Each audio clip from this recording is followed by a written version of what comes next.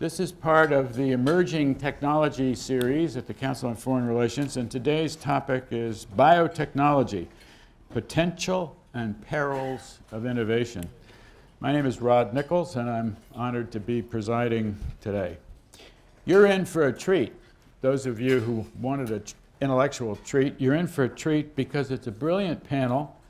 Um, they're both deep and broad, which is not often the case on these kinds of topics. And the topic is hot in science and engineering circles in our country and around the world for national policies and priorities around the world. Um, one of the technologies that will be discussed by some of my more knowledgeable colleagues, CRISPR, was named Breakthrough of the Year last year by a major scientific society. So my job is first, uh, the plan for the meeting is I'll introduce the speakers very briefly. You have their bios. They'll then make a few remarks. You'll hear what they're going to be talking about in a moment. And then we'll have your comments and questions. Uh, Drew Endy on the screen, uh, looking very thoughtful and waving a finger or two at us, is uh, professor of genetic engineering at Stanford, developed a new lab. He's really a pioneer in this field himself a leader globally, an innovator for sure, and an advisor on policy. Laurie Garrett, on my immediate left, has uh, been an incisive leader at the Council on Foreign Relations for many years, as many of you know, in global health. She is fearless, as you can see from her uh, crutches. She will go anywhere, ride her bike up and down anywhere from Croatia to Manhattan. She got hurt recently, but it doesn't seem to have affected her head at all she is deeply informed and globally alert, which is one of the things we want to have emphasis at the council. Julie Gerberding on my far left is, uh, had a remarkable career, as you can see in her bio. I asked her a few minutes ago whether she would object to my calling her a Renaissance woman, whether that was politically incorrect, and she said, well, she thought that was okay. Very few people have done as many different kinds of things as she has done. Her work spans medicine at the bedside, with research on the bench and at the highest level of policy circles, including her current work at Merck. What we're going to start with, I'm asking each one of the panelists to give us one example of the potential of contemporary biotechnology, which is very powerful, and one example, as they see it, of a peril. And we're going to start with uh, Drew from Stanford. So Drew, you're up. Rod, thanks so much. Can you hear me okay? Yes. Great. You know, I, I thought I would offer a example um, from the realm of medicine and talk about opiates, uh, medicines that are used to treat pain, morphine, hydrocodone, and so on. Good. Um, right, right now, the sourcing of these medicines is uh, realized by growing poppies agricultural fields of poppies, opium poppies that are harvested and the compounds are extracted and brought into preparations and used to treat pain. Um, there are a number of problems with this uh, current practice. As most are aware domestically, we have massive problems with addiction. We have side effects from the medicines themselves. Uh, they're declared as essential medicines by the World Health Organization. Uh, and uh, that's important because when you look at who has access to these medicines, only uh, about two and a half billion people on Earth have access to these essential medicines. So what does this have to do with the frontiers of biology and biotechnology? The reason I'm sorry to not be able to join you in person, uh, my wife is expecting with our second child due shortly, so I'm not allowed to travel. but last year, she and her technical team were able to recapitulate the biosynthesis of opiates in baker's yeast so that you could realize the same biochemistry and the same final active pharmaceutical ingredients, not by starting with a field of poppies, but by brewing, starting with sugar in a fermenter and an engineered strain of yeast to realize the production of the same active pharmaceutical ingredients. Now, the technical significance of this, set aside what the compounds are, is they are performing uh, about 30 different biochemical steps, 30 different enzymes brought from different organisms into baker's yeast to make an engineered strain that's able to do a significant amount of biochemistry. Why might they wish to do this? Well, if you could make a diversity of these molecules, maybe you eventually have a chance of screening for alternates which don't have some of the side effects related to addiction or respiratory depression or so on, i.e., we could just get better medicines. That would be a promise of some ambition. Moreover, because the material supply chain is based on brewing and not poppy farming, so for example, we might source much of these materials from poppies grown in Tasmania today in the United States, if you will. Uh, if we have a brewing process that could be distributed, maybe you have a chance of changing the material supply chain and providing treatments for pain uh, globally in a much more responsible way. Mm-hmm. So that's a promise. Now, typically, when I bring up this example or others bring up this example, the perils are straightforward. Um, there's an illicit market around these compounds of some significance.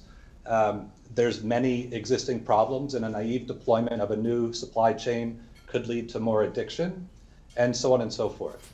Um, let me zoom out then and try and put this in some context. At Stanford, we're posing within the engineering school a question. The question is, how good can we get at engineering living matter? Much like 50 years ago, we posed questions like, how good could we get at programming computers? And we're 10 or 15 years into answering that question, not just at Stanford, but globally. And the early indications are we're going to get really good at engineering living matter. Um, as good as you might imagine as we got with engineering dope silicon semiconductor based systems. So then the peril, in my mind, is to figure out how we can create and sustain venues where a strategy is realized. A strategy that is um, needed to determine what it would mean to flourish on top of future biotechnologies, but also a strategy to mitigate some of the negative outcomes. And I'm sure we'll talk about safety, um, and so I don't want to preempt that. But I bring up security as a particular topic not because I view it as a massive imminent threat, but a threat that's developing over time. And to speak practically, in the United States and elsewhere, but certainly within the United States, we have no venue politically, from a policy perspective, or even a technical perspective, we have no venue where scholarship can be sustained and a strategy for realizing long term effective biosecurity might be realized. So I think that's the biggest peril we're facing, just simply an absence of sustained dialogue around what strategies might be for realizing a full-on uh, flourishing bioeconomy combined with uh, venues by which we can mitigate some of the minuses. Great. Thank you very much, Drew. Laurie will give you her idea of a potential and a peril. Well, yesterday, the Recombinant DNA Advisory Committee, the RAC, at the NIH, which was founded back in the 1970s as a result of a prior revolution in biology, the original genetic engineering revolution, um, approved the first experiment on human beings with CRISPR, uh, which will be conducted shortly. And it is funded by Sean Parker, billionaire of Napster fame. So you see a confluence of different interests here. And the target is cancer cells and modifications that could result in curing people of cancer.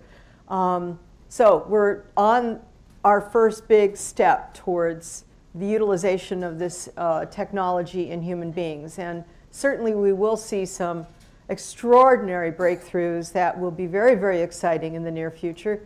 I would say the thing I'm most enthused about from my own you know, bias as potential applications of synthetic biology, CRISPR, um, and where it overlaps with basic microbiome research, the other great revolution going on at the same time, is in developing a far broader understanding of pathogens, uh, whether they're viruses, bacteria, parasites, all over the world, understanding the ecological niches they occupy, and having a better appreciation for how we can rapidly diagnose them um, how we can assess their likelihood of jumping zoonotically from one animal species to our species or to our livestock or from one wild plant to an essential uh, food grain of some sort.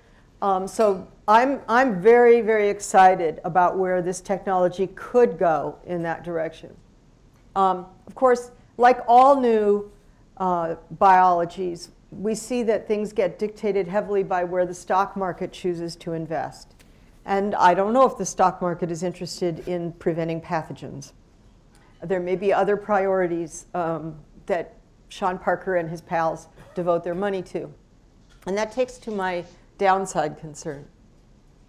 Um, we're only, our, our understanding uh, of how the microbial world works is so primitive. It's, it's phenomenal how little we know. Uh, we have only relatively recently come to appreciate that every human being in this room has far more microbes in you than cells with your own DNA in them. We're only at the cusp of appreciating how those microbes interact with other things around you, around your chair, on that table, in the food you just ate, much less how the same interactions are occurring with animals and plants and so on in the oceans in the air we breathe, in the soil, etc. I am very concerned that we will have untoward consequences, uh, mistakes made, that result in altering some essential microbial balance that has been in place for millennia and is very vital to some ecological system that we care about. It might be the human body, it might be the body of a dog, it might be soil that we grow wheat in, I don't know. Could be many things. And the reason I'm concerned about this is that, and, and by the way, this means then that we're deliberately or unintentionally altering evolution, right? I mean, a, a fundamental change can occur, especially using gene drive, that results in an absolute switch in the evolutionary trajectory. And I, I worry about this because the technology, especially CRISPR, is so darned easy. You can now buy kits and do it at home. There's a whole DIY movement developing. It's cheap. High school students are learning how to do these things. Drew has played a vital role in enhancing the capacities in high schools. And I think that's fantastic. But I'm worried about what escapes our attention in our hubris uh, that we think we know the world and something we do could make a fundamental change. In a few minutes, we might come back and give our group a tutorial on what is CRISPR, but it's basically gene editing. Take out a gene or put in a gene. Julie, what are your potential and peril favorites? Well, first of all, thank you so much for letting me participate in this panel. We actually had a preface to this meeting yesterday on the phone, and we probably could have talked all day because we were exploring these ideas in a great deal of granularity. But I think I'll come back to Drew's approach and really talk about medicine. Because, yes, we will be starting the first clinical trials using CRISPR gene editing to modify our body's own immune cells, the T cells, in such a way that they are either more aggressive and attacking cancers or the brakes that have been put on them are lost. And obviously, this is of tremendous interest on a global basis and something that could extend what we're currently learning from the new immuno-oncology drugs that have been in the news, the Jimmy Carter drug, for example, um, but it's just taking that same concept, accelerating it, and allowing us to think about truly novel ways of attacking uh, cancers using our own natural immune system, which is certainly something that should be more preferable than chemotherapy or radiation. Um, so it's very exciting. It, as Laurie said, these technologies are cheap.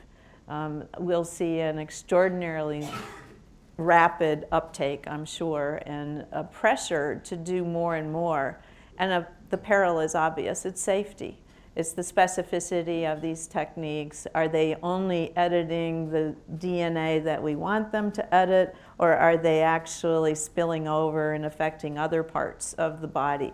When you're doing this technique outside of the body, that threat is not so important. But when you're giving this in ways that can be inherited, for example, affecting the germ cells so that the children of treated people are affected, or you can spread ecologically cross species or in, into the biome or into the environment in un, unexpected ways. Uh, we have to very uh, much caution our enthusiasm for the benefits with a very humble recognition that there is an awful lot we don't know right now about how these techniques are being spread. To extend that a bit more globally, right now, for example, in China, the amount of effort that's going into applying this gene edi editing and gene drive technology is extraordinary. I, if you do a Google search for gene editing in China and look at what comes up, you'll see the myriad applications in rice, in silkworms, in human embryos, in various other uh, cell lines and tissues. So on a global basis, we're seeing people run with this technology in environments that don't necessarily have a RAC or any of the other mechanisms that we try to use in the United States to balance technology with a safety assessment. And I think that creates a threat, even in well-intentioned people, let alone the people who can adapt this technology for more nefarious purposes. And CRISPR did appear, well, it wasn't named CRISPR, but gene editing did appear on the list of weapons of mass destruction of national interest just very recently. So there is a downside. So a theme in all three of your remarks have been the sort of political, cultural, ethical, regulatory environment in which this powerful new technology is being introduced. Uh, we probably ought to come back to that. Drew, you didn't make a particular recommendation, but how would you proceed to maximize the potential and minimize the peril? And then we'll ask the other panelists to comment. We certainly don't want to suppress the science in engineering.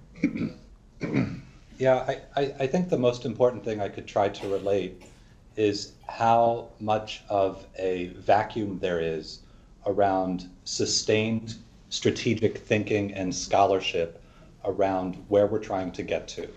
So, so if we were talking about nuclear security for a moment, I bet most everybody in the room could summon up uh, schools of thought and strategy, you know, mutual assured destruction and other approaches to mitigating risks associated with nuclear threats.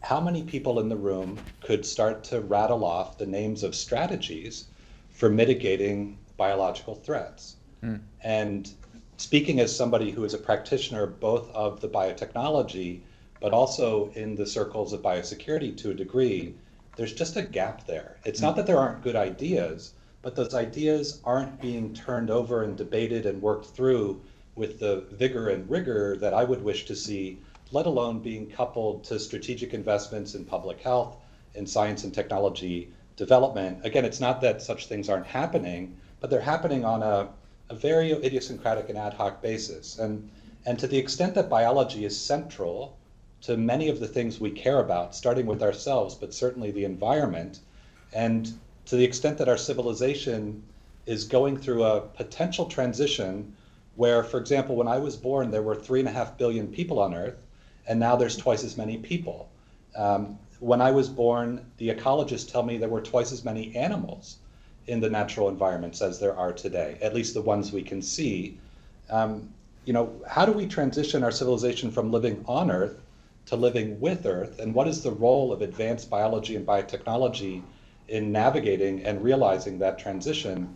We need to have a very holistic set of conversations and sustained scholarship around what our strategy should be. Okay. So, so I'll just I'll just park it there. There's a lot more to say, uh, but Laurie, I think you had. Yeah, I think that's the biggest gap. Thank well, you. I mean, Drew's put his finger on the number one issue, and many things that are so. Just to back up a second, because there may be some that are a little bit bewildered, and you're not quite up to speed on some of the terms we've used. So, let me just say that um, what we're looking at now with CRISPR is, and that's an acronym, and it doesn't matter what it stands for. Um, but what it, it is, it turns out it's a very ancient mechanism, billions of years old, that microbes have used, particularly bacteria, to expel um, unwanted entry uh, of genetic material brought in by phage or viruses that invaded the bacteria. So you can think of it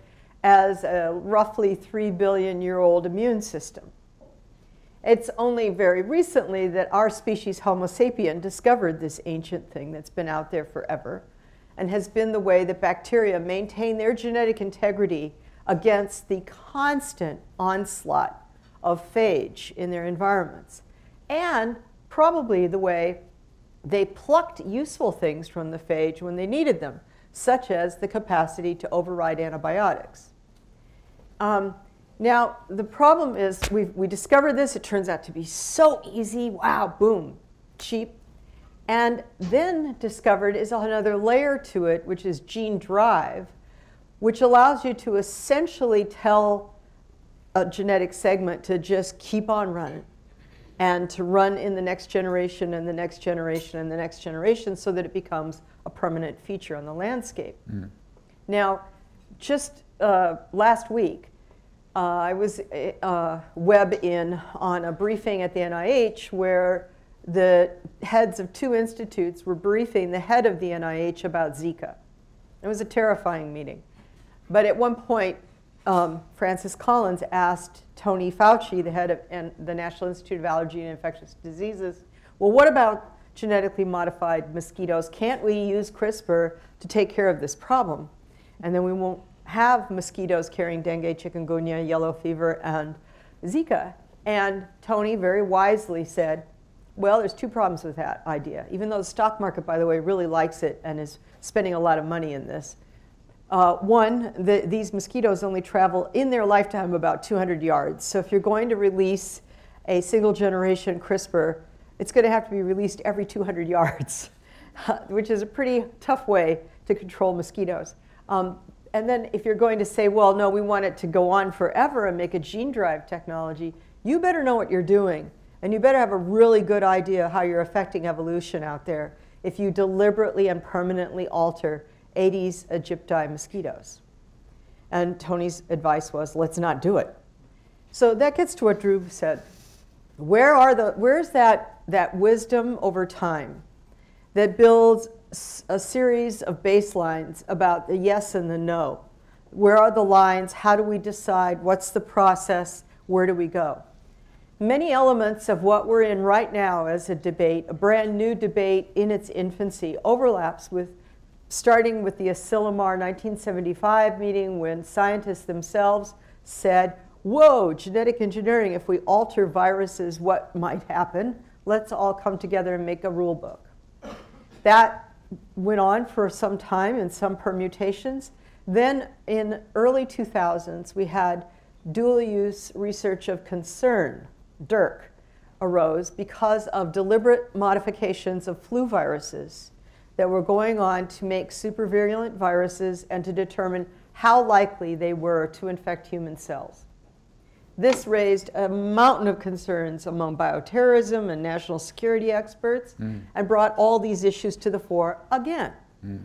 Then the similar pattern arose just a few years later uh, with so called gain of function research or GOF, the idea that you would deliberately insert a genetic capacity into a microorganism in order to see if that made it more virulent or that made it more transmissible across a broader range of species.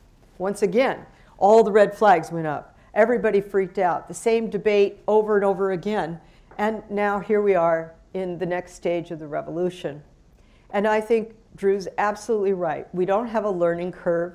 We have a very tiny cluster of people in most of the key uh, high tech countries of the world who, when we have meetings, we see familiar faces. Oh, right, I saw you 10 years ago at the DURC meeting. You know, here we are again.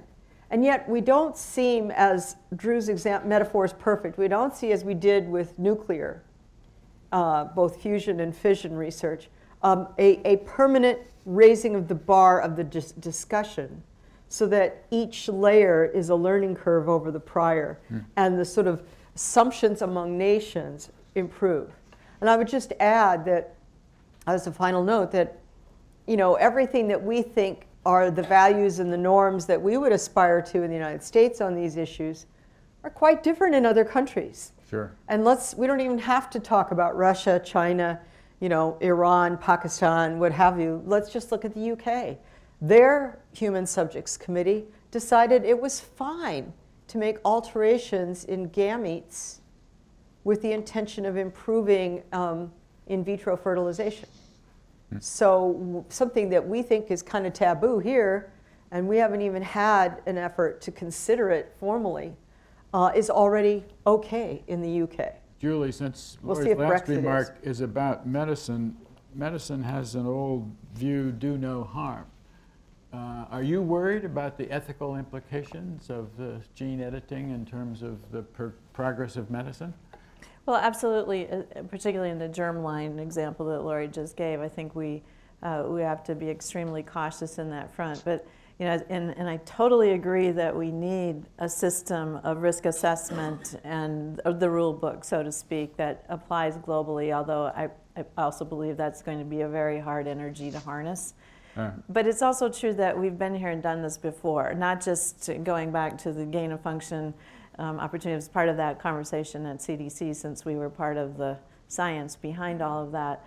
But you know, go back to even you know, smallpox vaccine or, or mm. you know, the early days of vaccinology where the same debates occurred between the technology of advancing the opportunity to prevent infectious disease versus the safety concerns and the academe. So these are ongoing tensions that exist between scientific advances and um, concerns for unknown risks.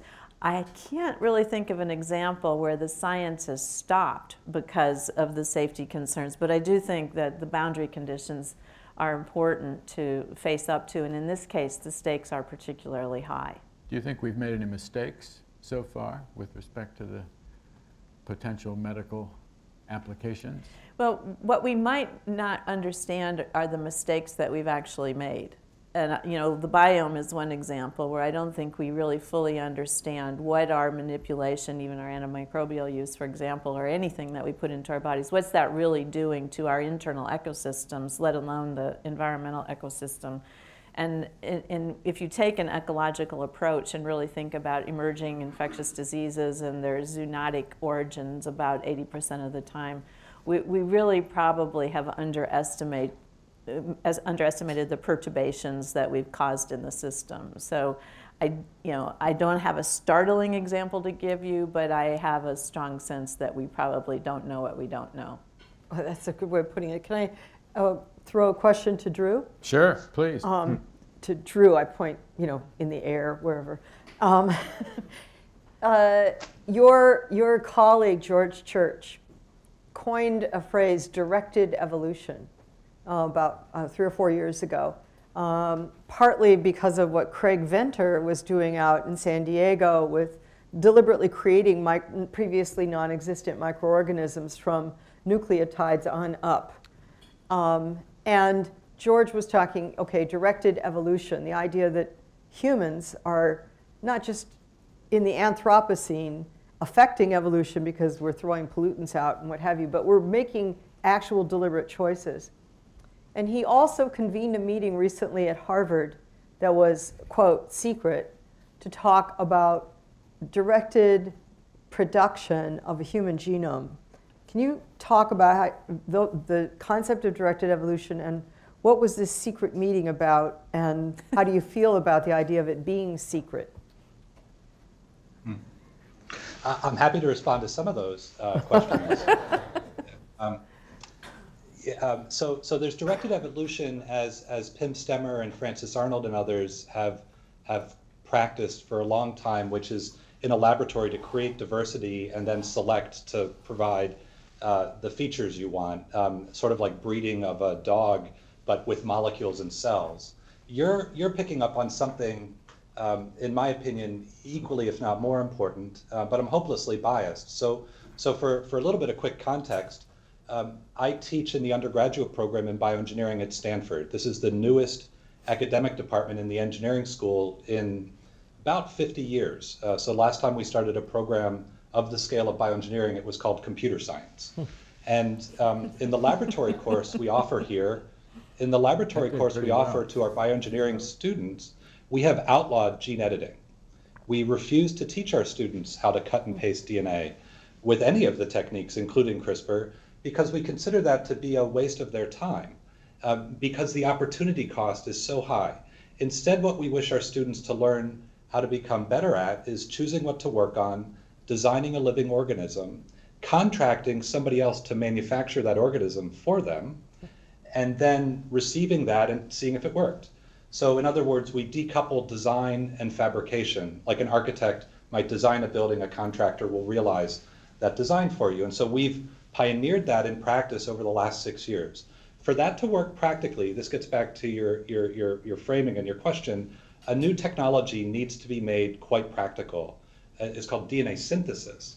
So can I go from information on a computer, the letters of DNA, A, T, C, G, and whatever combination I want, send that information over the internet to a foundry that will take that string of information and print from scratch the physical DNA molecule and return that molecule to me either in a cell or for me to put in a cell so that the genetic instructions are then carried out.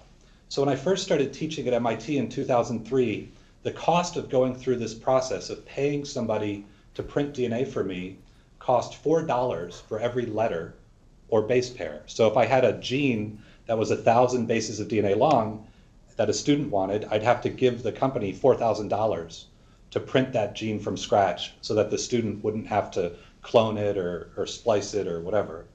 Um, George and I have been involved with starting two companies, and um, as a result, and due to a work of other corporations as well, over the, over the last 13 years, the price of printing DNA from scratch for long length fragments has dropped by a factor of 400. So today, the cost of printing DNA from scratch for the things we want is not $4 a letter, it's one penny a letter. And uh, that continues to look like it will cost down by about a factor of two every other year uh, for the next 10 years, let's say. Yeah. So It's faster so, than yeah, So in other Murphy's. words, that's It's right. faster than Murphy's not- Law. well, Moores. More- Moore's Law, Moore's law. Murphy's Moore's Law. law. Yeah. God help us, So that's It's a different biosafety. problem. Yeah, It's a different problem.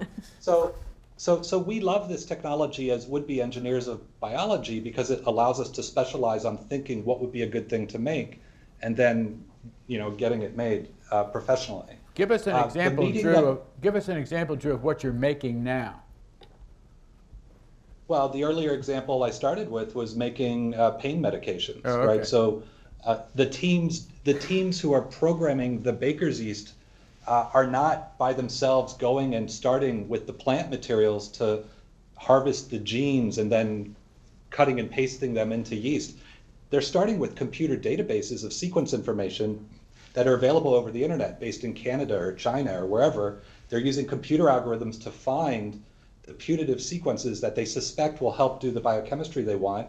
They're paying a company to print the DNA from scratch and mail order it, you know, through FedEx to the lab at Stanford and instantiating those synthetic genetic programs into the organism and off it goes. Um, but many things you could do uh, because think about what biology can do, right? So it's a massively functional uh, green nanotechnology that's already taken over the planet. And to the extent you can now ship information or instructions, you know, via the internet and overnight shipping, you can instantiate manufacturing of new things wherever you wish, so long as you can operate the system. Um, now, to just return to Laurie, your, your comment, because the prices have been dropping faster than computing has been improving, um, it's now become imaginable to finance a project to synthesize all the DNA encoding a human being. So the human genome is about 3 billion uh, bases long, plus or minus, and if you divided that by 100 at a penny a base, you would get $30 million as the initial cost to print the DNA encoding a human being. Now, that would not be a, a contiguous genome, it would be in short chunks of four to 10,000 bases, and you'd have to figure out how to physically assemble it. And so a meeting was held uh, to discuss this, as have other meetings, and there's now a proposal to underwrite and pursue the, for the first time, development of capacities to print from scratch and assemble human genomes. And that meeting was secret. We, Obviously not.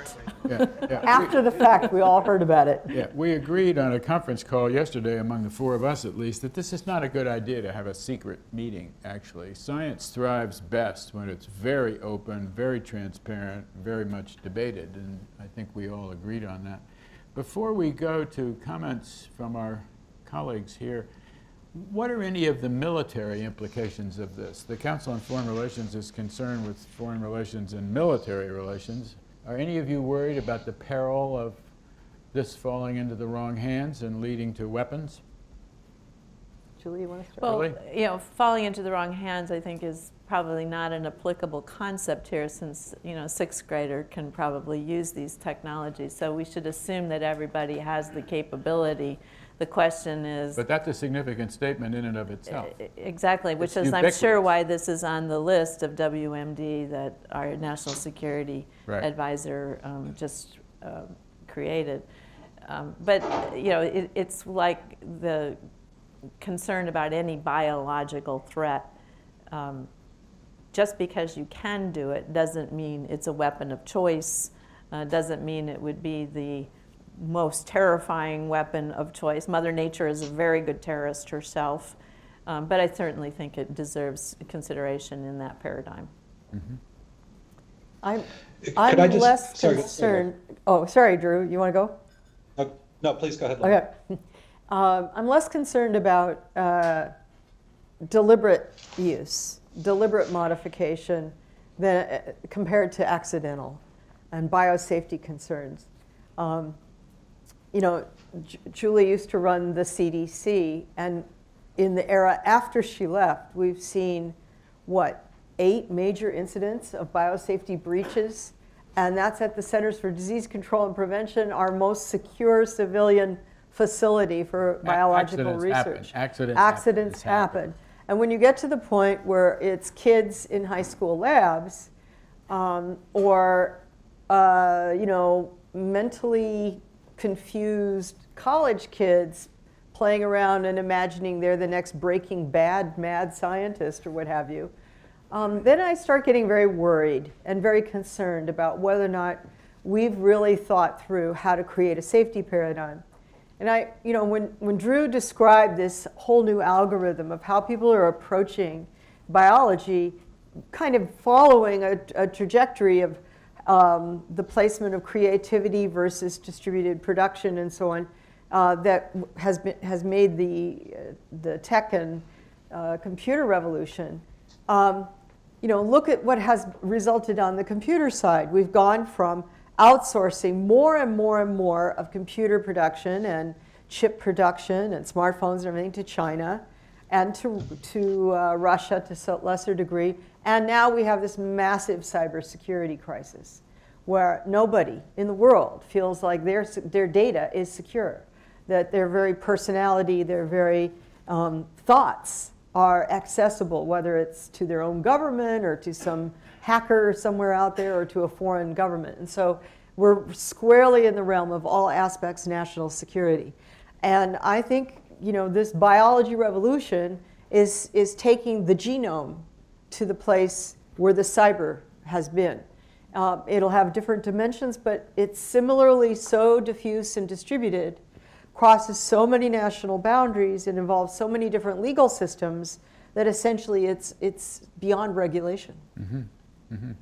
Drew, you wanted to make a point on the military, potential military applications or foreign policy implications? Sure. I- I- It, it just, uh, it's, it's a retro comment. The last time I was at the council, uh, I think was joined with, with uh, Matt Messelson. And um, one of the important things to remember, it's, it's slightly before my time, is, uh, you know, we in the US used to have an offensive biological weapons program. Right. And made a very good decision heading into the Nixon administration to stand that down. And so it's just worth remembering that and bringing that wisdom forward. Uh, we should not, in my opinion, uh, take actions that even inadvertently might lead others to remilitarize biology. Right. So, although we don't say it out loud very much, it is absolutely critical that nation states do not remilitarize biology on top of the new capacities that are developed. Right. And, Well, and it's we a would- retro comment because we worked it through many decades ago. But let's not lose that one. Yeah, a norm was set.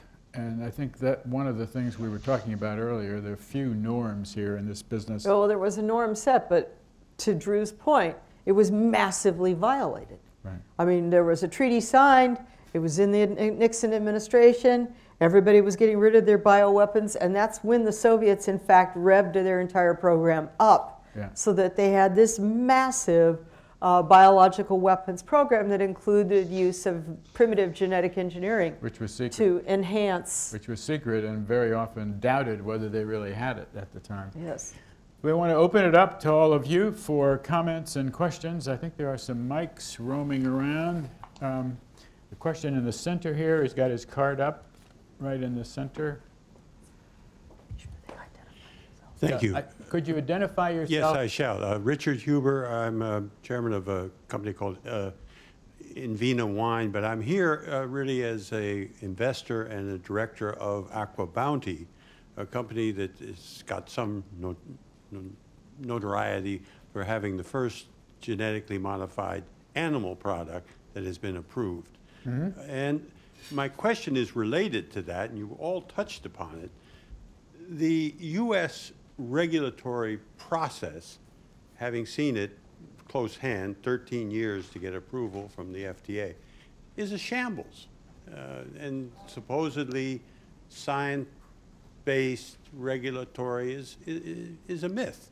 Uh, politics is all over the place. Can you suggest some better way of having a regulatory framework that both provides protection, something you commented upon many times, but also allows the process to move at somewhat faster pace than 13 years? Thank you. That's a tough question, Mr. Huber, I think. I wish Peggy Hamburg would hear. I'm sure she didn't, she didn't block your product, I'm sure. So, I, I don't know what Peggy would say, so I certainly don't uh, intend to speak for her, but I, part of the bio, the Bio Innovation Trade Association Executive Committee, and of course, we're very keen to look at how the FDA can um, have what it needs to be able to improve its performance, and speed is one of those performance metrics. So I, I believe the agency wants to improve. Uh, the 21st Century Cures legislation that's passed the House but not the Senate is an important step in that direction. Um, but there's also the missing underpinning of regulatory science. And when we think about scientific investments in the United States, I think we zoom to the NIH or maybe uh, the National Academies of Science, but we don't necessarily think about the surround sound that has to go on to make those scientific advances available to people. And regulatory science is a big piece of that. So what we're really talking about today is a prime example of where we're going to need a whole new framework for regulatory science to be able to do what we all want to do, which is accelerate the value of the innovations that we're creating. I also think the staffing at FDA has been a problem for Peggy Hamburg and her predecessors. There are not very many first-rate molecular biologists and geneticists who'd rather work for the FDA than Stanford or even or, Why would they? or CDC. I mean, look, let's be real. It's just like trying to get top of the line cyber folks working for the FBI. You Let's know, get why, why would you want to take a salary of $90,000 a year or $110,000 a year with all the government bureaucracy you have to live with when you could make 10 times that with so- a smart play crossing between Well, academia Lori, and the some of us sector? do it because we Yeah. care. Right. and Oh, we think it's the right thing to do, and you know But, we want you to know, serve that's our country. minority. But I, but That's I, a I- distinct I, I do think that you know I want to be very respectful of the quality of the scientists that are at the FDA because there are some very outstanding people there, and I uh, again part of the 21st Century Cure legislation is to give the FDA the hiring flexibilities and the salary support that they need to try to be more attractive to people. So I really want to get behind them and Sure. say, how can we help you? Good Because point. I completely agree with your point. We all agree with, Another with the problem, but question? it- Yes, we need here. to help them solve it. Here on the right. Yes, sir. Your name and affiliation, please. John Train. I'm a columnist and do other things. Um, do we know anything at all about what's happening in Biopreparat, the Russian militarization of bio? That's, that's been long since destroyed, biopreparat. What we don't know, but so under the Soviets, there were two giant arms of biological weapons production. One was biopreparat, which was allegedly civilian. It, it answered directly to the Politburo. Um, and the other was what was going on inside the military. Biopreparat became transparent. Uh, there, has, there were many years of a program with our National Academy of Sciences to uh, transform the entire infrastructure to public health good um, and to find employment for those scientists outside of weapons production. What we don't know almost anything about is what really was going on inside the military labs and what, what may or may not persist in Russian military labs. That we don't know. So you can't write a column on about a secret. We don't know the answer. Another question or comment? Yes, sir. Over here on the left. Your name and affiliation, please. Stanley Arkin, I'm a member of the council. But um, my son, a professor, works at Cal in bioengineering, synthetic biology, Adam Arkin. And you may know him. A very dear friend and colleague, yes. And from time to time, when he speaks to me about the issue, what's occurred to me is at what point does security attach? And he's given me hypotheticals which can curl your hair. At what point is it an outside governmental agency? Is a university have some kind of special authority or obligation? But at what point in a course of research does security intervene and therefore seek to protect us all? Drew, I think that was directed at you, but other panelists may want to make a quick comment too. Sure. So uh, a pleasure to meet you uh, through the video uh, link, sir. Uh, Adam is a dear friend and uh, an amazing person. Um, I think it depends on the aspect of, of, of, of security specifically that arises. So, you know, there's not a blanket statement that is responsive to anything, uh, everything that could be practiced. One of the hallmarks of how modern biotechnology uh, uh, flourishes is that there is a distribution of responsibility to the to the nodes, to the community, to the protagonists, to the individual actors. And so, in the just conceiving of an idea, uh, a good citizen uh, is mindful of safety and security aspects, and to attempt to implement, uh, you know, only a top-down control framework uh, doesn't scale. Um, the there are exceptions to this, uh, which have been uh, developed, in my opinion, on a on a responsive and ad hoc basis. You know, so for example, uh, uh spent more more time over the last 20 months than I might have wished as a member of the National Biosecurity Board, trying to be responsive to a government request around how, if and how work involving gain of function with flu and MERS and SARS might proceed or not. And uh, about a month ago, we shipped our recommendations into the government You for how to think about. you better explain a little more of what that means, what the problem was. Yeah. Just, but take a minute or two to, Su- Sure, but I mean, but, but it's a good it's a good example to illustrate how how much we're on our heels in many respects in terms of responding to security concerns. So a number of years ago, as many might know, there was public funding for work to explore how particular strains of flu might be adapted to uh, potentially uh, uh, create a, a new type of, of flu variant that might lead to a pandemic. So could you take bird flu and have it be adapted so it would passage through mammals, uh, create casualties in mammals? Um, very controversial work. When it was um, brought forward by the research community, it first emerged in the context of scientific papers that were being uh, considered for publication. And at that point, very late in the practice of the work, concerns were raised that resulted in debates about whether or not such research should be published ever, uh, never mind whether or not the work should have been done. This experience combined with um, uh, imperfect inventory control, imperfect management of shipping of samples from US government labs, combined with other factors, led to the federal government putting a pause on all funding for doing gain of function research on specific human pathogens, viral pathogens like flu. And it took us the better part of 20 months to work through the aspects of that and come up with a set of recommendations that the federal government could consider implementing in terms of if and how to allow such work to proceed. The, the point I'm trying to communicate, if I zoom out for a second, is this is a lot of work for a specific case. It's a it, we're, we're operating on our heels a little bit. It's it's very ad hoc and idiosyncratic. It doesn't really scale as an approach. And if you look at where this landscape is going and how the technology trends are moving, it seems like we have uh, a lot more on the horizon and beyond the horizon to consider. So I'll say something. I'll say something that sounds a little bit strange, but one of the, if I live in the future where we've made living matter fully engineerable, and we then ask, how do we wish to flourish? How are we going to manage safety and security? What's our plan?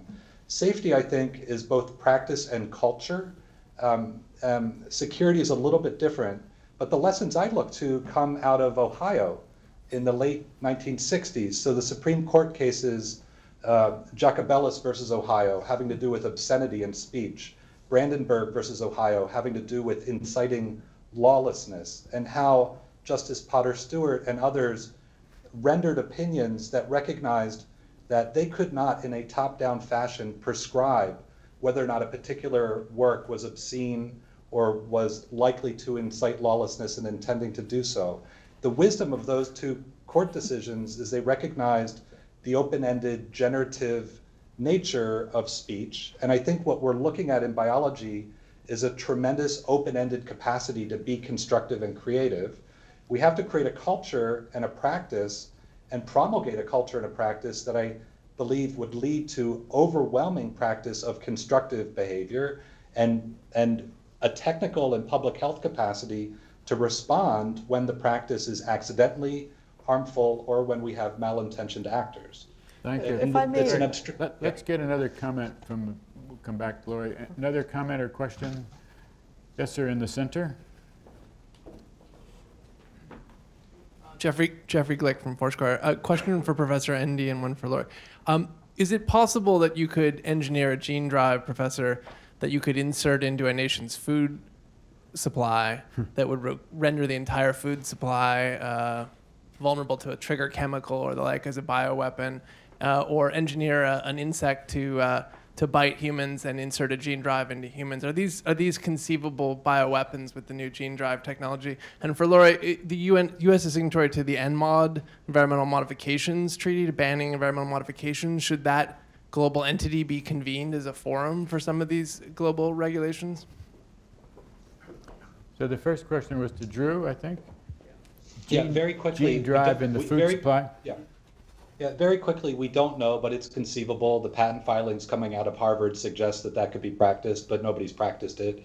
I'd refer you to Kevin Esfelt and others for thoughtful technical responses. The one thing I would point out regarding gene drives is I have not seen any experimental evidence of a gene drive being 100% successful in terms of penetrating a population, even in the most carefully controlled laboratory experiments with relatively homogeneous strains of yeast. You can get to the high 90s, but I've never seen anything to total completion. Now, I might not have the latest data, but I think that's relevant from a policy perspective. Could you still nevertheless realize disturbances of some significance? Yes. And then, just as a placeholder, your second question, you know, implies, um, in a way, being responsive to some of the comments coming from the ETC group and others in terms of how one might want to consider the regulation of gene drives. Lori? So I can I can point you to that offline if you like. Lori? Yeah, I think I kind of prefer to take it jumping off the previous question because um, it doesn't matter which um, uh, international entity you imagine activating to address which specific problem. We have a, a first problem in front of that, which Drew hinted at when he said, you know, safety and security are cultural issues. They're about the culture of how you do science, and they're about the culture in which science is occurring, what's going on around the outside of it. They're, it's about the nature of governance in any given setting, whether it's how a university governs safety on campus or how a nation governs safety within and out, without its borders. Mm. And when we've had various international level meetings looking at Goff, looking at Dirk, and now looking at synthetic biology questions, what you see is that the world cannot even agree on the word security. okay? And it's very serious. I see it now also in trying to improve World Health Organization so that it's capable of responding better than it did to Ebola to the next great outbreak, which now the next great is already here. It's called Zika. Um, and what you see is that the word security is so charged. It's perceived when Americans say the term as we're about security for us, not you, but we want you to do things so we feel safer. And while we're at it, we define security blended in with terrorism. Uh, and if you go to poor countries, particularly in Africa and South Asia, their attitude is you're just trying to come in here and mobilize us and get us to buy into your tech and your parameters of control, uh, but it's all in your interests, not ours. And one of the biggest complaints, uh, you hear it, a lot of meetings on this topic is that the more you securitize biology, the harder it is for people from many parts of the world to engage with biological enterprises in Western Europe and North America because they become security risks.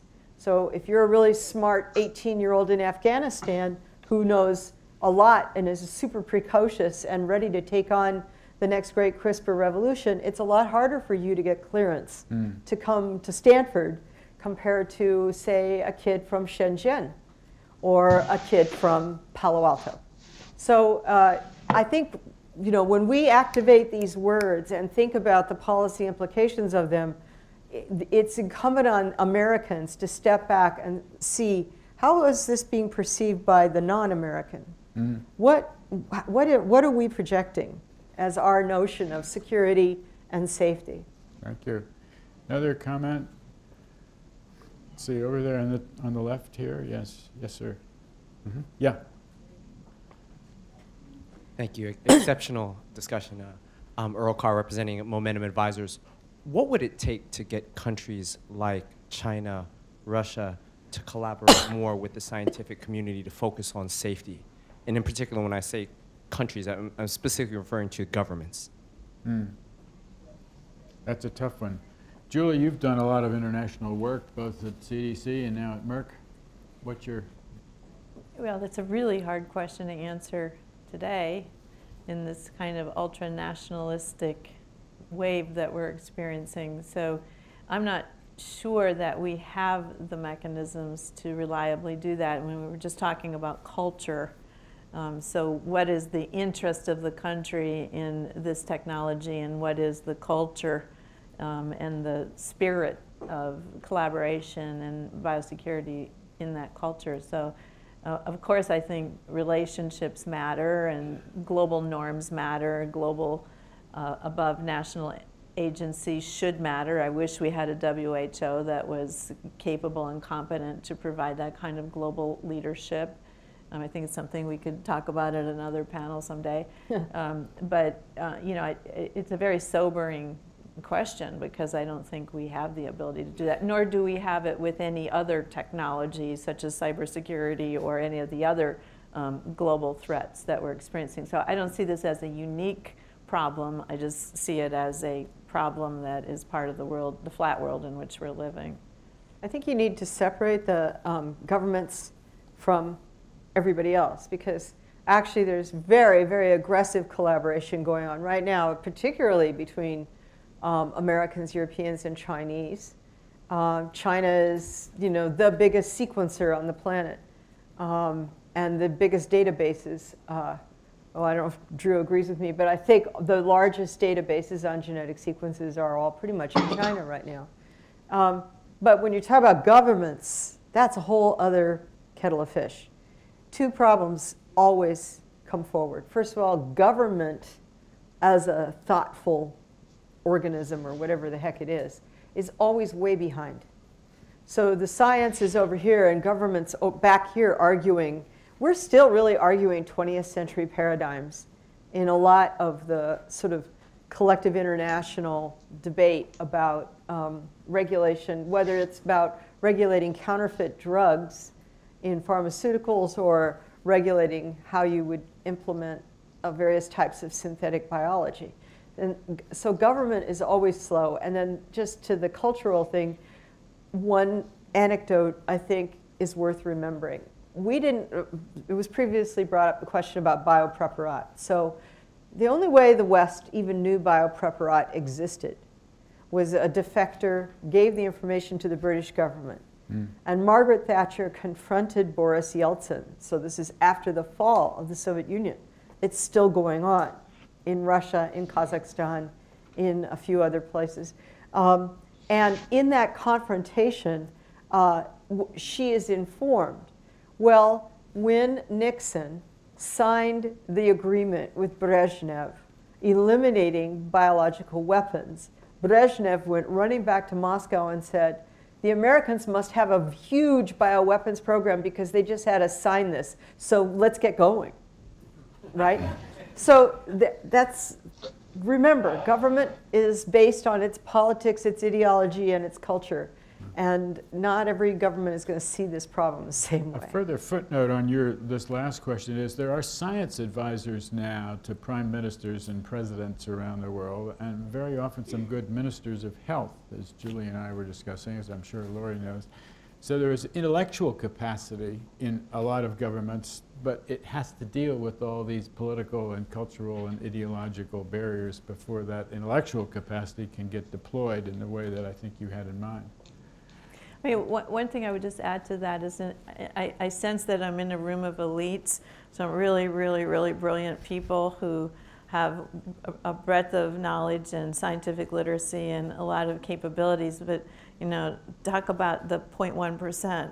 You know, we live in a world where scientific competency, numeracy, literacy is, is increasingly a focus of enormous disparity. And so the people at the level who can take in this kind of conversation and participate in it in the in the debate or the dialogue versus the citizenry of the nation, you know, that is becoming uh, increasingly um, large, a The gap, chasm the of gap. A, a huge gap, and uh, you know, we can't even count on citizens to make good health decisions about ordinary things that are fairly easy to understand, let alone debate the merits of CRISPR gene drive or gene editing. And what happens when people don't understand science is they default to very black and white solutions. Like it's either really bad, no GMO, that's off the table, or they just give up and you know don't pay attention and, and don't engage in the kind of citizenry manner that would be helpful.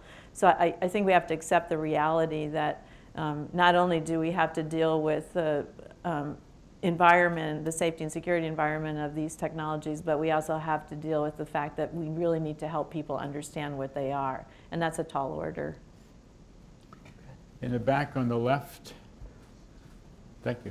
David Bard, American Securities. Uh, Drew, early on you alluded to a lack of policy writ large, and you compared it to nuclear policy as that was well done and this is not. We've hit on a lot of pieces of what that policy might look like throughout this conversation, but could you and then maybe others lay out what would the framework look like if you could do it and you didn't have a lot of these constraints? And then what reading material would you suggest for people who are total novices and don't understand some of the acronyms that are sort of flying around? Drew, you want to take a crack at that in 60 seconds? Sure. So, so to the to the second uh, question, I, I would uh, point you and others to IGEM, uh, yet another acronym, IGEM. And if you go to igem.org on the web, you'll see something remarkable. It's a international genetically engineered machines competition. It's a genetic engineering Olympics. Uh, it will take over the Hynes Convention Center in Boston this fall. We have about 4,000 teenagers showing up with their constructions or creations, their living organisms that they've made. The 300 teams, 40 countries, uh, the most creative up and coming biotechnology leaders on the planet uh, to first approximation. Uh, we have evidence now because there's 30,000 alumni from this program, and they're running the many of the most interesting startup companies in biotechnology across the planet. So, so I would just check out what the iGEM students are doing. All their presentation videos are free to watch online, and there's a tremendous resourcing of information and materials uh, through the iGEM website.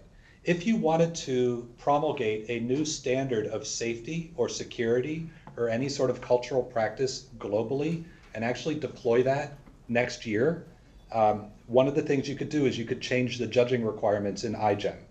And now all of a sudden, 5,000 people around the world would try and practice that to earn the medals in the competition. So, so a placeholder, uh, just policy comment to come back to the first question is there's a tremendous amount of cultural or soft power. There's a tremendous amount of network effects being established. And were we to be strategic about realizing what we wish for, we would embrace those possibilities and figure out how to make the world better.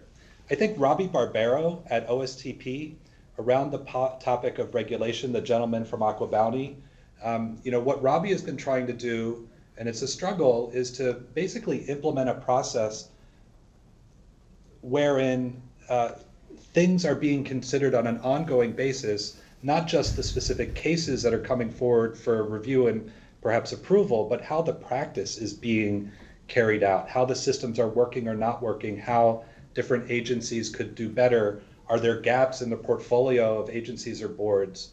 Um, I think that way of thinking, recognizing that when you have a technology, a set of technologies in biology and biotech that are moving so quickly, you have to sustain work to figure out what the plan should be, right? So when Gretzky describes he's a good hockey player because he skates to where the puck is going to be, even with ice hockey, there's friction on the rink and the puck is slowing down. We've got a little rocket on the puck. The puck is accelerating, and we need to figure out how to skate to where the puck is going to be still to be strategic. And, and so I'd like to see sustained schools of scholarship. Uh, I'd like to see sustained debates among the agencies. I'd like to see sustained investments. You know, when the Human Genome Project was invested in for sequencing, it was 3% bolted on for ethics discussions. The problem with funding things on that basis is it's typically all piecemeal. If you have to do significant new regulatory science, if you have to do something that requires block funding, you just can't get the support for it. So I think there needs to be a holistic reconsideration of how we're strategically approaching biology, Thank period. Thank you, Drew. The OSTP he mentioned, that's the Office of Science and Technology Policy in the White House. And I think Drew is correct. At the White House and at the director of NIH and director of CDC, those are the leaders that would put together the policy pillars. For the United States. Yeah, of course. and Yeah. for publicly funded science. But, I mean, let's keep in But mind, those norms there's generally apply. 90%, you know, out there is not the United States doing this science, and a huge percent of it is in private sector. So, um, I, you know, I, the only thing I would say to add to what Drew, Drew's really smart analysis is to, so that you don't all go out of here paralyzed with terror and fear. Um, there is a self-correcting going on all the time within the scientific community. And just a great example, because yesterday was Worldwide Subway Microbiome Day. And so in 54 cities around the world, teenagers and college students were out swabbing subways and bringing samples back to figure out what microbes were in the, all the subways of the world. Um, this is a build on from a study done just in the New York subway systems two years ago that had a really bad outcome, which is to say, they went public with their findings, even though they didn't have great reference strains to uh, reference sequences to be sure what strains they were really finding, whether, whether it was accurate or not. And here in a city where we were subjected to 9 11 and an anthrax attack, they said they found plague and anthrax in our subways. And we're very surprised that the public was upset and that the city health department was less than happy with their announcement. Um, a learning curve has happened. A lot of scientists piled on to, uh, on those folks and said, let's do this right. Let's be much more accurate, much more careful. Let's think about what we're saying to the public. If this is a public good, let's frame it right. And now, yesterday, 54 cities executed under a whole kind of mutually agreed framework hmm. that's a really sophisticated improvement. Thank you, Laurie. I think, join me in thanking our panel. Thank you, Drew. Thank you, Drew from Stanford.